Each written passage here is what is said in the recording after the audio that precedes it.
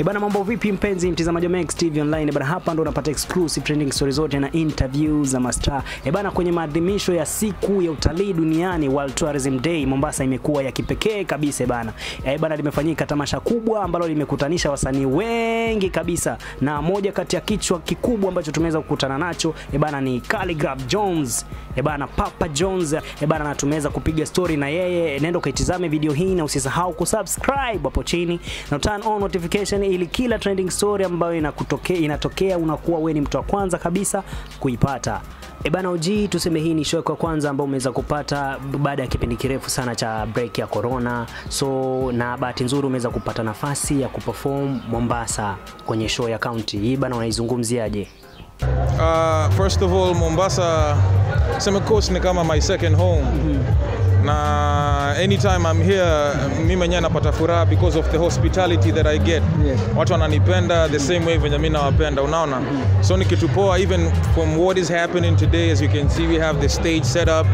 Kuna hii hii hii shughuli inafanyika leo na me being involved it's not something I take lightly. I'm privileged to be here. I feel honored yani so ya nashukuru ni kitu poa ni kitu true na OG na Mombasa we go hand in hand bro yeah Okay, Afrika na dunia nzima inakutizama kama kioo hivi kwenye game ya mziki, na hapa Mombasa tuseme kuna talanta nyingi sana. ivipi pengine umeshaika mpango wote wa kusupport talanta hizi za Mombasa?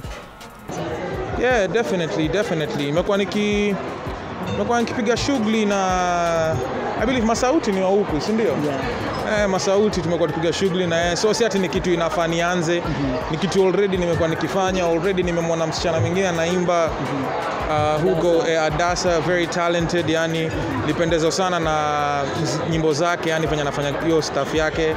and definitely that is also another person that I'm looking forward into working with in the near future so eh, eh, aside from that kwa hata Susumila mimi ni fan unaona mm -hmm. hopefully yani tutapata chance ya kufanya kazi pamoja Ebana bana OG, ukiachana na ada sana ukiachana na wasanii wa Mombasa, pia kuna wasanii wengi sana Kenya ambao wame wameshaanza tayari na wamedhihirishia umma kwamba wanaweza kupitia mziki. Je, hawa pia wanaweza wakapata vipi support pia?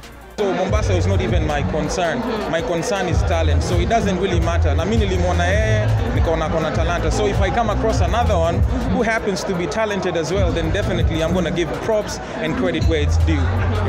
E bana, si tunajua kwamba ukipanda stage ni mazishi bana. E, na ni muda mrefu sana kipindi upande kwenye stage. Vipi, unalizungumziaje hili? Watu watarajia nini kutoka kwako Nji? Si mazishi ni ile ile. Ndio. Yeah.